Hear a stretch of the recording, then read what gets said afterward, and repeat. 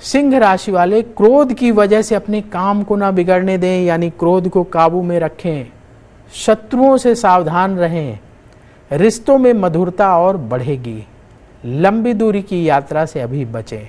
शुभ रंग, मरून।